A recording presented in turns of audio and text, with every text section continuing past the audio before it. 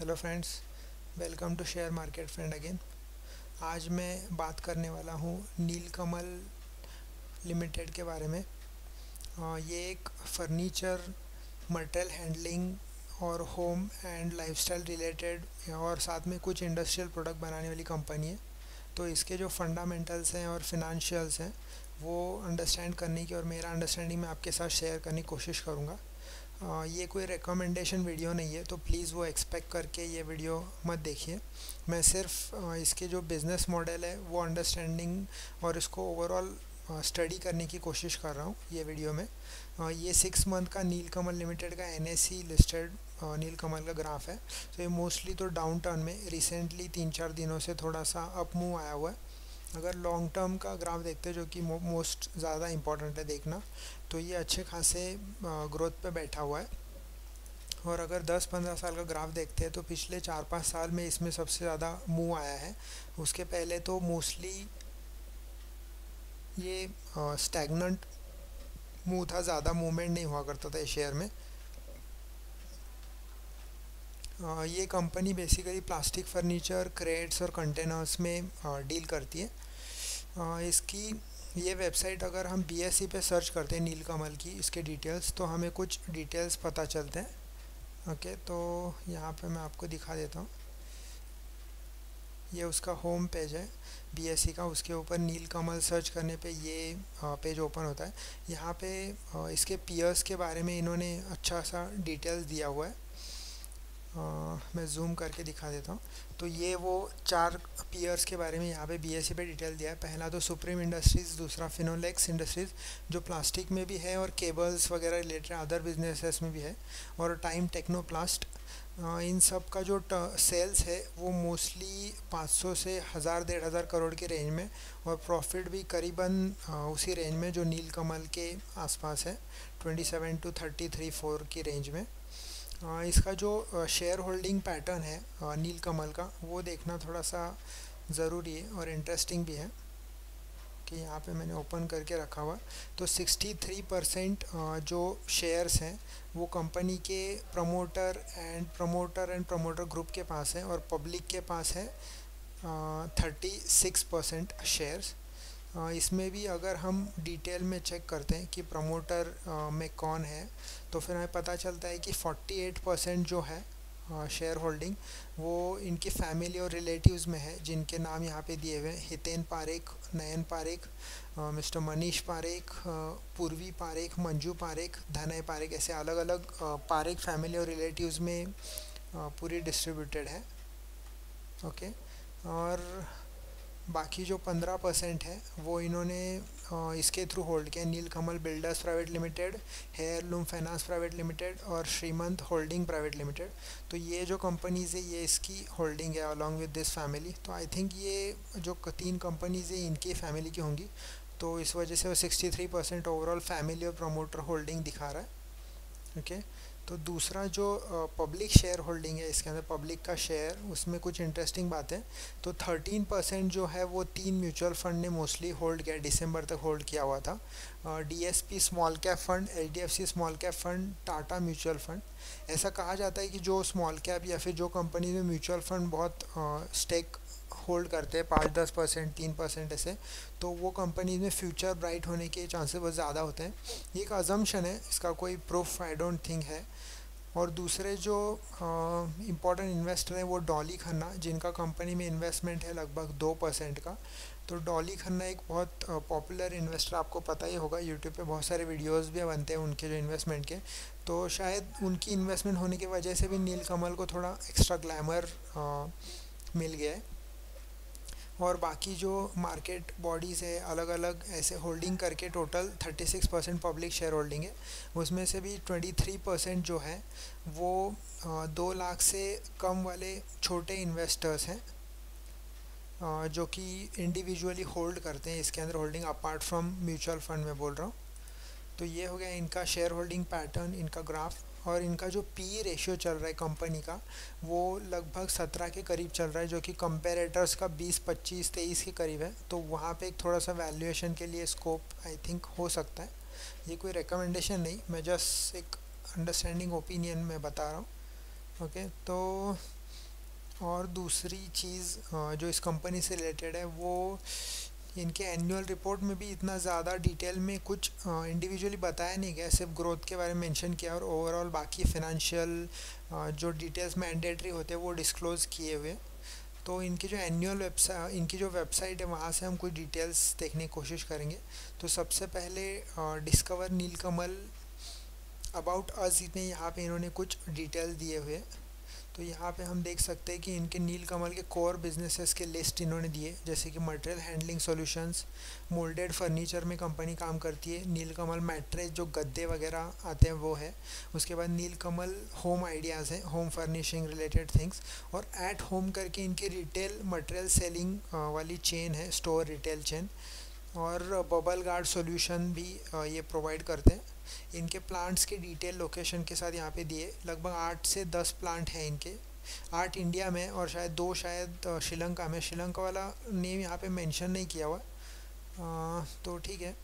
North में सांबा में है, उसके बाद ग्रेटर नोएडा में उत्तर प्रदेश, ईस्ट में बरजोरा, वेस्ट बंगाल, सिंदर, नासिक, महाराष्ट्र में है, सिलवासा, यूनियन टेरिटरी, दादरा नगर, हवेली में, दो ऐसे दो प्लांट्स हैं। पौंडीचेरी में है और एक होसूर, तमिलनाडु में प्लांट है। इनका टोटल जो एरिया है, वो one million square feet cover करता है इनका ओवरऑल अभी इनके लीडरशिप के बारे में पता करते हैं, जो मैनेजमेंट डिटेल जो सबसे ज़्यादा इंपॉर्टेंट होता है एक स्मॉल कैप कंपनी में, क्योंकि कुछ दो चार लोग ही होते हैं स्मॉल कैप कंपनी में जो कंपनी को ड्राइव करते हैं, जिनका इन्फ्लुएंस कंपनी में बहुत ज़्यादा होता है। जिसकी वजह से इनका एक्सपीरियंस बहुत मैटर करता है। सबसे पहले तो है मिस्टर वामन राई वमन वमन राई पारेख, जो को फाउंडर प्रमोटर हैं। चालीस साल से कंपनी के साथ एसोसिएटेड हैं। दूसरे हैं मिस्टर शरद पारेख। इन ये भी काफ़ी लंबे अरसे से कंपनी के साथ एंगेज्ड हैं। फिर है जॉइंट एमडी और promoter of Nilkamal mister Hiten Parekh फिर है प्रेसिडेंट एग्जीक्यूटिव डायरेक्टर जो फर्नीचर सेक्शन के हैं वो है मिस्टर मनीष पारेख और फिर लास्ट में है मिस्टर नयन पारेख जो प्रेसिडेंट और एग्जीक्यूटिव डायरेक्टर हैं मटेरियल हैंडलिंग देखते हैं नील कमल का. ओके तो ये चार पाँच लोगों के यहाँ पे डिटेल्स दी इनको 25-30 साल का प्लास्टिक और रिलेटेड इंडस्ट्रीज़ का बहुत अच्छा खासा एक्सपीरियंस है, जो टॉप मैनेजमेंट है। तो वो एक इनका प्लस पॉइंट कंसिडर किया जा सकता है। इनके जर्नी के बारे में ओवरऑल जो इस्टेब्लिशमेंट कंपनी का हुआ था, कैसे हुआ था, वहाँ उसका एक अच्छा सा इन्होंने डायग्रामेटिक फॉर्मेट में दिया है। कंपनी का जो स्टार्ट हुआ था, वो मिस्टर व्रजलाल श्री व्रजलाल पारेख ने किया था। मेटल बटन्स मैन्युफैक्चरिंग करते थे 1934 से। 50-60 साल का कंपनी को हिस्ट्री है। फिर कंपनी ने ग्रेजुअल मूवमेंट करते हुए फैक्ट्री सेटअप की। फिर 1981 में नील कमल प्लास्टिक्स करके इंडिपेंडेंट वेंचर शुरू हुआ। फिर इनको अलग अलग कॉन्ट्रैक्ट्स मिलते गए और एक सिग्निफिकेंट ऑफिशियल क्रेड सप्लायर बने। जो क्रेड्स होते हैं, जिसके अंदर बॉटल्स वगैरह रखते हैं कोल्ड ड्रिंक्स वाली कंपनियाँ तो कोका कोला और पेप्सी को ये क्रेड सप्लायर बने 1994 में, उन्नीस सौ चौरानवे में। फिर इन्होंने अलग अलग जगह पे प्लांट सेटअप किए और फिर 2005 में एट होम इन्होंने स्टार्ट किया। फिर 2006 में जर्मनी की कंपनी के साथ जेवी किया बिटो लॉगर टेक्निक करके।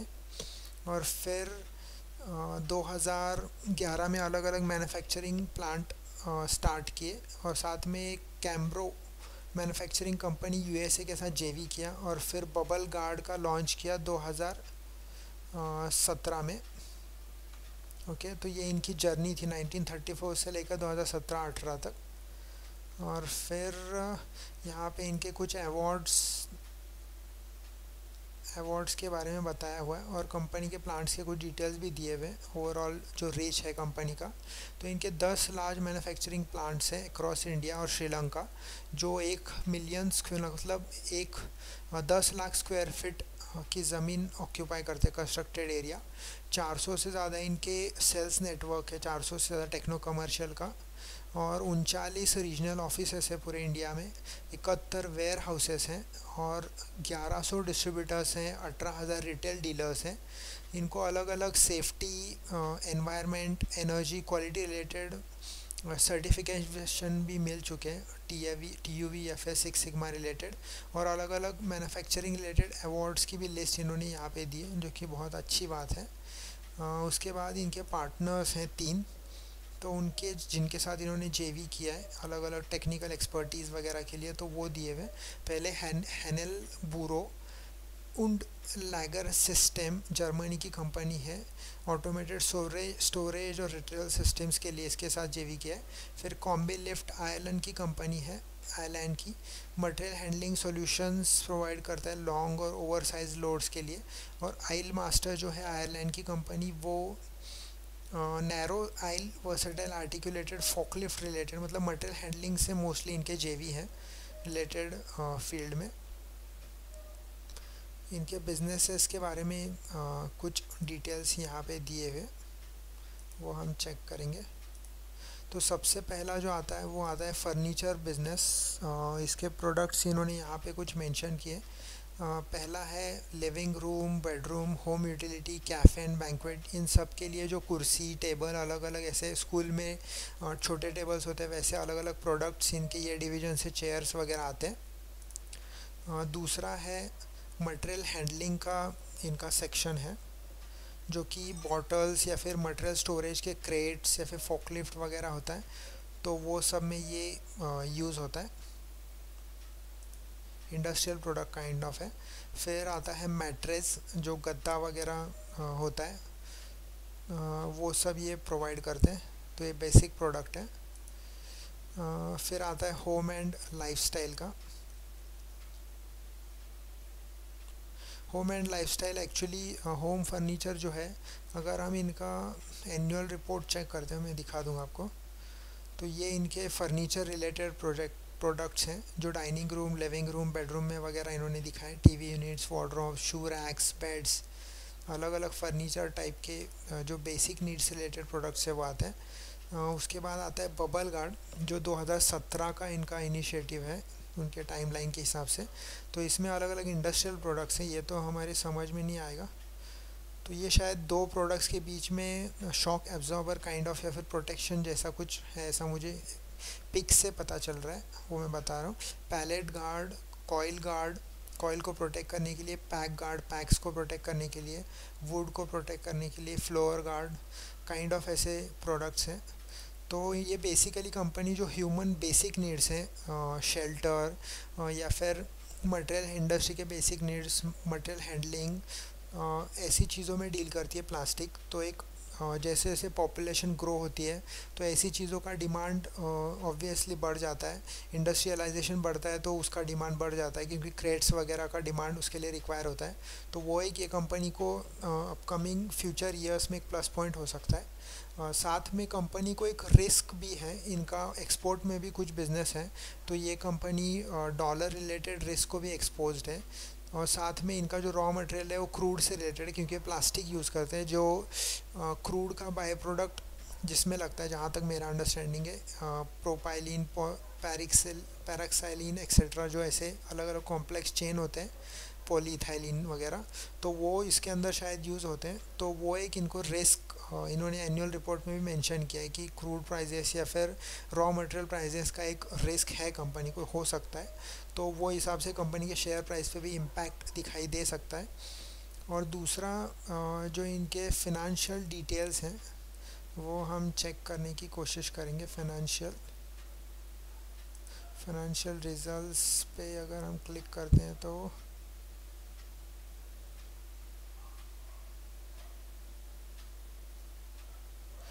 यहाँ पे फाइनेंशियल हाइलाइट्स करके एक ऑप्शन दिया हुआ है इन्होंने।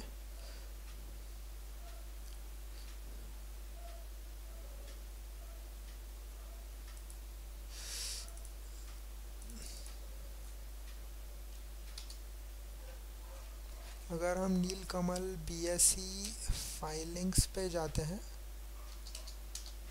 तो वहाँ पे कुछ फाइनेंशियल डिटेल्स इजीली अवेलेबल हैं। तो डायरेक्टली हमें आसानी से देखने के लिए हो जाएगा।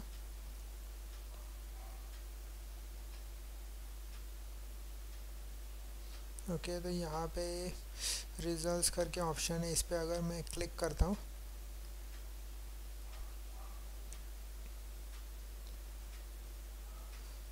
तो यहाँ पे एनुअल ट्रेंड्स अगर हम देखते हैं तो इनका जो रेवेन्यू है वो 1600 सोलह एक सौ पैंसठ करोड़, फिर एक सौ अठहत्तर, एक सौ सतासी, फिर दो दो सौ नौ और फिर दो सौ दस करोड़ के करीबी मिलियन में दिया है तो मैं करोड़ में बता रहा हूँ।